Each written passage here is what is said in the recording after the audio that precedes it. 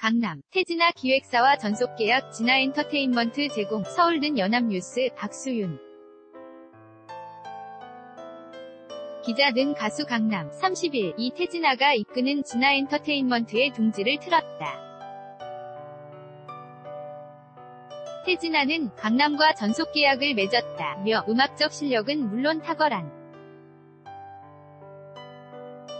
예능 감각으로 사랑받는 강남을 물심양면 지원하겠다. 고 22일 밝혔다.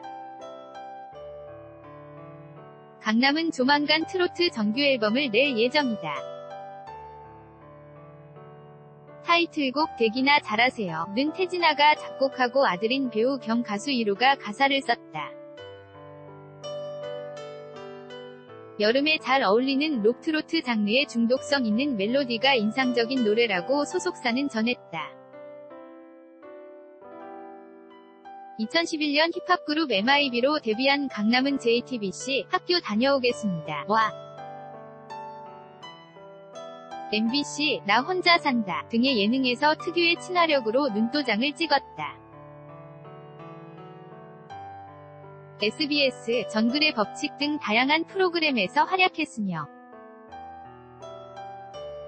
지난해 1월 MIB 해체 이후 솔로 활동을 본격화했다. 그는 또 태진아와 전통시장 2015, 사랑팔자 2016, 장지기장 2018 등 컬래버레이션 협업곡을 꾸준히 발표해왔다.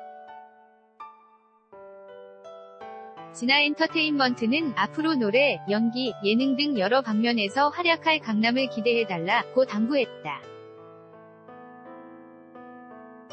CLAP-yna.co.kr 2018년 6월 22일 17시 4분 송고